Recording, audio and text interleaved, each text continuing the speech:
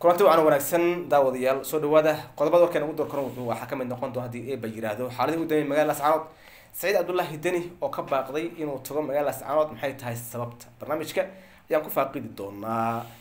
Ninka ahaa duqa magaalada muqdisho madaare waxaa loo dhigay shirqool halis ah kaasi oo la doonayo in lagu khaarijiyo nimanka shabaab ahaa way soo awileen magaalada muqdisho waxa ay soo geliyeen waxyaaba la yaab leh digniino ayaa la dirayaa barnaamijka ayuu qeyb ka noqon doonaa madaxweynaha soomaaliya. Xasan sheekh maxamuud ayaa waxa uu saldhig ka dhigan doonaa baa la yihi magaalada dhuusamareeb halkaasi uu ka hagi doono dagaalada ka soconayo amaba lagula dagaalayo ururka al-shabaab kaasi oo bilaaban doona wejigiisa labaad.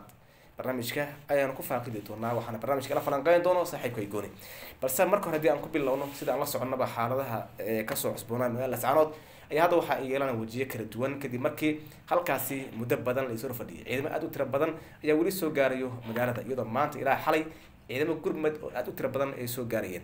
Bal marka hore aan ku wareejiyo gooni iyo weliba xaaladii u dambeeyay ee magaalada lascaanood cokaash waa mahadsan tahay. Magaalada lascaanood xaalad kacsanaan ayaa ka jirto.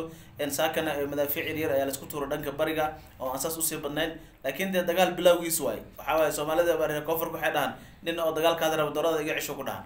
Marka dagaal bilowgiis waaye iyadoo ugu dambeyntiina labada dhinacba hub isku aruursanayaan saanad military aada u fara badan ay soo gaarayso gooja cadde kuwo kale oo hadda s c ku soo wajahana way jiraan oo dhanka iyo maxaa la yidhaha ceynabo iyo meelo kale ka yimida ilaa oog ilaa meelo kale isaga soo gurmaday oo dhankan maxaa la yidhaha somaliland u soo gurmanaya jiro. Dhanka kale ayagana buuhoodle iyo meelo kale iyo cerigaaba ciidamo ka yimida jiro ku soo wajahan lascaanood marka labada dhinac waxaa malaysaa hub aruursi iyo dagaal diyaar garoob ah inuu ka jiro waatii sheekh aadan welin uga hadlay oo sheegay in waqtigan kadib aan la fiirsan karin gooja cad inay ku jiraan ciidamada somaliland oo dagaal toosana lagu qaado.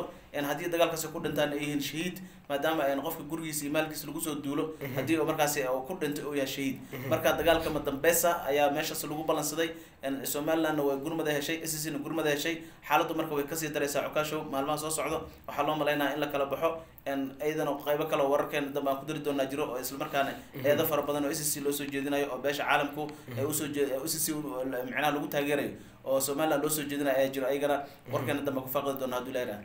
Daawadayaal barnaamijkeena midka xigo waxaan ku daawan doonta haddii ibiraad haddaan idinsii falanqeyn qeyb kamide in ciidamada s c ay gaareen ilaa caynaba ay ku dhawaadeen maama waxaa sheegeen inay og inay gaareen la iskala teg hadda mataqan halkaasi marayaan dagaalkii miiga oo sii cuslaaday ciidamo gurmad oo s c ka socda oo halkaas gaaray somaliland oo meesha mataqana iskaga carartay ciidankoodi.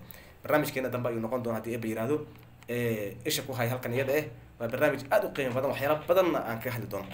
Laakiin s c garoonka u horreeyay ayay dhisatay markii laga soo too midka laascaanood kaasi oo ay hirgeliyeen. Maantana diyaarada u horreysay ayaa ku soo degtay. Dhaliil baa halkaa iyada ka timid maanta. Gooniyow horta elboorka ay samaysteen waa elboor caalami ah. Gambadhe meesha la yihahdo ayaa diyaaradda ugu horreysa ku degtay. Laakiin de waxaa loo dhaliilayaa oo s c lagu eedanaya. In horta qofka markaa cali markaa dhimanaysa dhararka waa la iska celiya garoonka ay hagaajiyeen way simeen way hagaajiyeen laakiin waa bucaad. Garoonka waxaa laga rabay inay laami saaraan. S c halkan ay ku jiraan waa ognahay weliba qaybta markay diyaaradda ku degayso ku ordeyso waxaa loogu talagalay laami aan saa u badnayn ilaa laba kilomitr ama one kilomitr inay ahaato.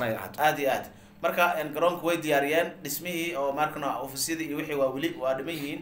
Tijaabo ayay ka qaadeen laakiin waxaa dadka loo soo jeedinaya oo inta badan taageerayaasha s c ay soo jeedinayaan in meeshas ay ka sameeyaan laami yar oo diyaaradu ay ku soo degaan hadhowna ay ku ordaan. Haddii kale diyaradu riski ay geli kartaa muqdisho oo aragtay oo garoon international ah oo lixdan sano todobaatan sano ka badan shaqeynaya ayaa diyaaradda intay ka baxda lugta u baxday waddada ka baxday. Marka garoonku waa inuu laami yahay la hagaajiyaa laami yaroo maxaa la yihahdaa hal kilomitr oo diyaaradda ay ku ordana waxba kama dhibayo s c arrintaas waxaa la leeyahay somaliland iyo ku diganin. Maanta waxaan arkayna ayagoo boor ha diyaaradii boor ku qariyeenba garoonkan muxuu yaha boorka ah diyaaradii boor ku qarsiyay soo dhigeen. Marka arrintaas kale ka digtoonaada iskuna tashta. Garoonkaas laami saara saasaa dhehila aniga. Dhanka kale saciid cabdullahi deni waxa uu ka baaqday kulan amaba safar uu ku tegi lahaa magaalada lascaanood haddaba safarkaasi iyo maxaa baajiyey siciidani wuxuu qorsheeyey inuu tago laasacaanood iyo dukaraq laba isbuuc ka hor ayaan sheegnay inuu siciidani ku wajahan yahay gobolka sool. Laakiin qorshihii laga lahaa wuu fashilmay kadib markii somaliland ay heshay xog siciidan inuu soo gaari doono laasacaanood ah. Marka arrintii markii walwalaa ka soo baxay siciidani wuxuu rabay in si qarsoodiya oo dukaraq iyo laasacaanoodba ku tago oo jiidaha hore dagaalka soo booqdo video laga duubo kadibna markau tago kadib videoga la sii daayo. Qorshaha saas u ahaa. Somaliland ayaa heshay dil ayayna u qorshaysaa leeyahy weliba waxaa la gantaalada ugu badan maalinka siciidana uu soo garay lasacanood yaa u diyaarisay Mhm. ilaa soddon hoobiye ama soddon gantaal in lagu garaaco magaalada lasacanood markuu siciidana soo gaaro ayaa micnaha lagu heshiiyey. Arrinta marka siciidani arrinta xog buu ka helay in qorshe dil ah loo diyaariyey saas ay uga baaqday. Meelaha u tegi rabin waxaa la jiray oo ku dhinac socday inuu isii booqdo waxaa eh, ku dhinac socday in arrintan maxaa la yihahdaa kambaynka ama Mhm. doorashada u diyaar garoobaya Mhm. inuu ku kambayn garay ayuu rabay. Lasaanood baan tagnay waan qabanay waa dhiirigelintoo sameeyo. Mhm. haddana ku kambayn garayo. Ayuu rabay maadaama dadka reer puntland intooda badan s c ay taageersan yihiin oo beelaha artay dhammaantoodba taageero buuxda u muujiyaan reer s c. Taas ayuu rabay laakiin de waxaa waaye arrintii waa fashilantay. Siciidanan waxaa la safarkiisa wuu baajiyey. Waqtigu ku soo beegi doono inuu tegi doono lama oga laakiin safarka inuu baajiyey ayaa soo baxday cukaasho duqa magaalada muqdisho yuusuf madaali waxaa soo gaaray digniino xoogan oo ku saabsan in ururka shabaab ay qorsheeyeen inay weerar ay ku qaadaan guriga ee lagaga arrimiyo ee dowladda hoose isaga mataqaana uu u weyn yahay. Kaasi oo hadda ka horna lagu khaarijiyey ee engineer yariso haddaba digniinahaasi soo gaarayay weliba cabsida ku geedaaman yuusuf madaali. Maxay yihiin mar kale iyo gooni. Horta arrintan yuusuf madaali lagu weerarayo way soo baxday mar dhow wuxuu dhagax dhigay isla maanta wuxuu dhagax dhigay wadadii koo iyo labaatanka octoobar Mhm. ee burbursaneed ee jidka bakaaraha gelaysa ee dalcadda ka imaanaysay ayuu maanta dhagax dhigay taasoo la dayac tiri doono. Marka waxaa la yidhaha halis weyn ayuu wajahayaa ninka la yidhaha yuusuf xuseen jimcaali madaali ninka loo yaqaano waxaana la weerari doonaa maxkamadda ee, arrinta meesha la yidhahdo gobolka banaadir maxkamadda meesha hoose ee aqalka hoose Mhm. looga arrimiyo gobolka banaadir. Dowladda hoose. Dowladda hoose looga arrimiyo. Mhm. ayaa la weerari doonaa. Ku taala xamar weyne arrintaasi marka waxaa la sheegay sida injineer yiliso camal fal micnaha oo argagixiso ah inay shabaab ka geystaan qorsheeyeen Mhm. taasna waa laga weeraray hay'adaha sirdoonkan way ka digayaan laba maalin ka hor daynila la weeraray oo ciidamada dowladda control ay kulahayna la weeraro la tijaabiyey tijaabadii ciidamadu waa iska dhiciyeen dagaala meesha ka dhacay. Marka gaari caasi intay soo qaateen weerar isku dayeen. Mhm. arrintaa marka waxay keenaysaa waddo inay u furaan Mhm. inay weerari karaan gudaha magaalada muqdisho Mhm. intay gaari caasi ku soo labistaan qaraxyo diyaariyaan madaalo in la dilo Mhm. marka hay'adaha maxaa la sirdoonka waxay sheegeen in yuusuf xuseen jimcaali madaali oo riski ku jirto noloshiisa maadaama uu yahay nin socod badan ayaan dhawata qabuuraha marka la isku qabsada wuu tegay Mhm. maanta koo iyo labaatanka octoobar iyo suuqa bakaaro tegay maalin dhawata waxaa la soo qabtay gaari buuxo oo biro ah oo loo wada galmudug Mhm. oo jilib laga soo dhiibay Mhm. shabaabku marka arrimo badan ayay sameynayaan Mhm. hadda waxaa la sheegayaa in maxaa la dhahaa xarunta gobolka inay ku jirto riski Mhm. madaalo la rabo in lagu dilo sida engineer Mhm. arrintaas suuqa ayay ku jirtaa hay'adaha amnigana oo ka digayaan cukaasho boqol kiiba boqol. Waa mahadsan tahay sida aan la soconno magaalada baydhabo maalmihii u dambeeyey waxay ku jirtay cunuqabateen la saaray isla markaasna dadka shacabka.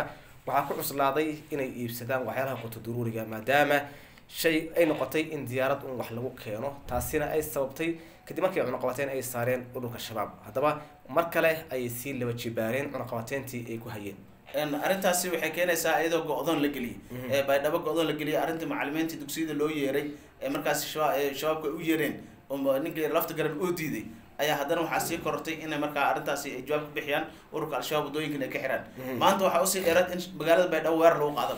Si fiican. Weerar baa xigabe weerar baa sii xigo maanta weerar caadi lagu qaado. Way way ziyaadiyeen way siyaadiyeen baasha. Ha baydhabo haddii sicir barar ku kacay iyo haddii diyaarad wax lagu keenayo waxaa ugu sii darsantay in la weeraro lafta gareen waxaa la yidhi een, bil ka hor wuxuu diiday inuu la dagaalamo shabaabka islamarkaana laga saaray deegaanadiisa. Mhm. oo micnaha uu uu carab laalaadiyay nin dagaalamayo iska dhigay woona ka been guuray. Mhm. arrintaasi marka waxay keentay in baydhabo la go-doomiyo qofka moogtahay dabka markuu ku istaago gartaa moogtahay inuu kulya Mhm. ka hor ma ogola. Marka arrintaasi waxay keentay in baydhabo go-doon gasho go-doonkiina weli ku jirtaa. Maantana weerar u sii dheeraad ururka al-shabaab iyo ciidamada maxaa la yidhaha koonfur galbeed ay isku dagaalay duleedka magaalada baydhabo ugu dambeyntiina shabaabka waa laga adkaaday waana laga saaray meeshii. Laakiin mar walba waxay sameynayaan dagaal iyo rogaal celis een, cukaasho laakiin lafta gareen inta badan waxaa u lahaa meeshii ahayd waajid baa mataqaanaa yaa go-doonsan.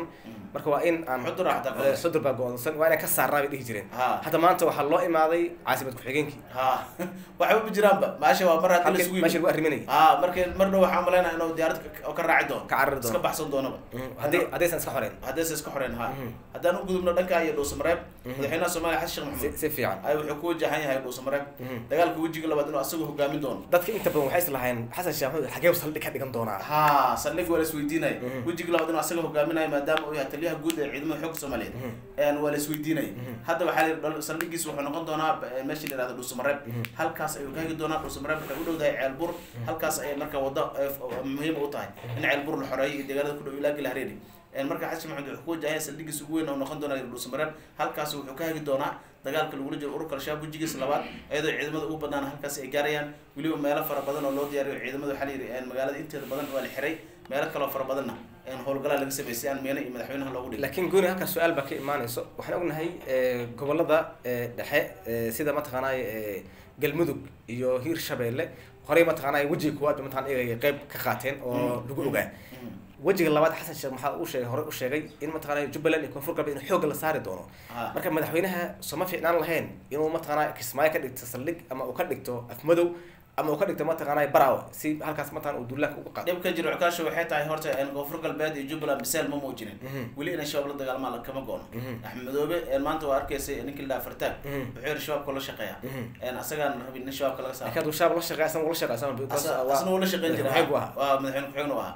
Marka marba haddii aysan u bisleen inay iska xoreeyaan shabaabka dib ay u noqon doontaa in dib loo dhigay noqonay. Laakiin madaxweyne xasan maxamuud wuxuu ugu galeeyahay horta gobollada dhex shabaab inay ka soo baxaan.